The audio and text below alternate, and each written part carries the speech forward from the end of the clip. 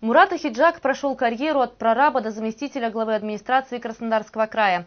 В команду губернатора Ахиджак вошел в 2001-м, став полномочным представителем администрации Краснодарского края в ЗСК, а также руководителем Краевого департамента по делам СМИ, который он создал. А в 2002-м Мурат Казбекович был назначен заместителем главы администрации Кубани. Курировал вопросы внутренней политики региона, взаимодействия с правоохранительными органами, вооруженными силами и общественностью, кадровую и информационную политику краевой администрации администрации. Мурат Ахиджак ушел из жизни 7 декабря 2010 года. Ему было 48 лет.